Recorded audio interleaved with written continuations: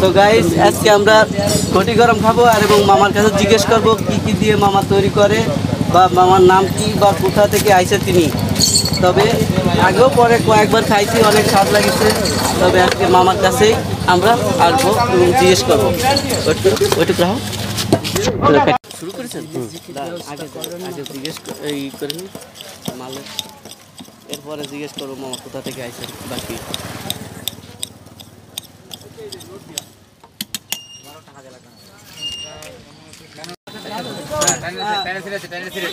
ঠিক আছে এই কটা পাইছি হুম আটনের আটনের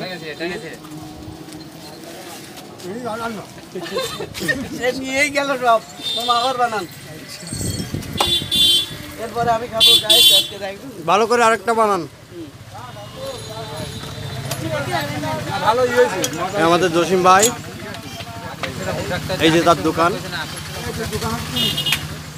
যাত্রাপুর বাজার। এইটুকু হবে?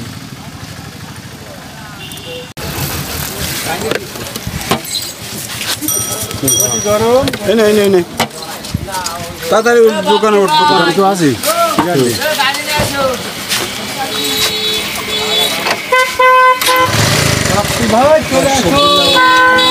দর্শক অনেক দর্শক এই জায়গায় দাঁড়িয়ে আছে এই ঘটি গরম খাওয়ার জন্য। দেখেন.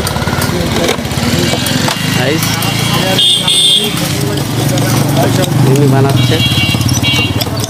এই কোম্পানি চলে আসছে